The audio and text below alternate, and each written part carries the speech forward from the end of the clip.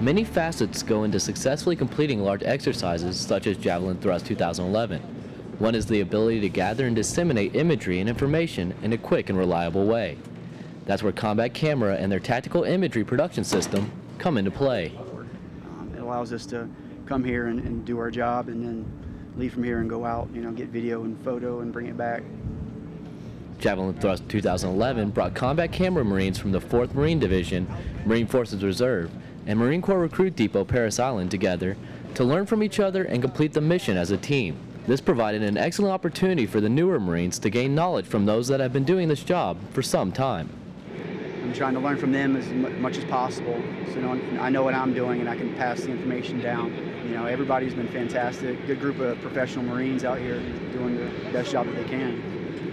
Javelin Thrust 2011 marks the first time a TIPS system has been deployed in support of an exercise in the continental United States.